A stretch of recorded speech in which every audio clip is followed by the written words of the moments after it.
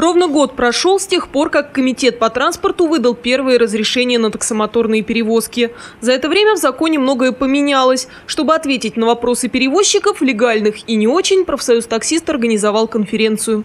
Такое мероприятие как раз оно и хорошо тем, что водители такси могут напрямую получить ответы на свои наболевшие именно вопросы, то, что их задевает в жизни. Вопросов и спорных тем у перевозчиков накопилось немало. Например, почему за год требований к легальным таксистам все больше, санкции все жестче, а привилегии легализация почти не дает. Выделенные полосы для законных такси появились пока только в одном регионе страны – Санкт-Петербурге. Сотрудники ГИБДД обнадеживать ивановских перевозчиков на этот счет не стали. Нарезка кирпич за. Уважаемые коллеги, Правда, он разной стороне, да? Вы стараетесь нарушить требования права, а я стараюсь сделать так, чтобы их не нарушить. Движение по знаку 1 запрещено.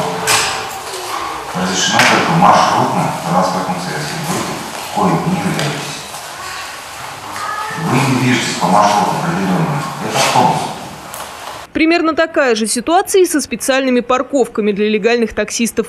Благодаря чаяниям профсоюза сейчас этот вопрос находится на рассмотрении в городской мэрии. Но самая больная тема на этот раз – вопрос страховки. Э, Российский союз автостраховщиков, э, он уже лоббирует, жестко лоббирует именно повышение базовой ставки на ОСАГО.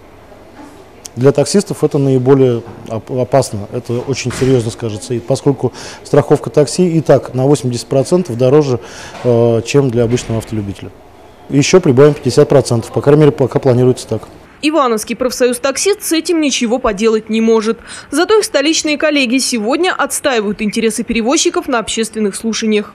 Ивановским же таксистам остается скрестив пальцы надеяться, что таксомоторный бизнес не обернется для них убытками. Наталья Романова, Андрей Семиволков, РТВ Иванова.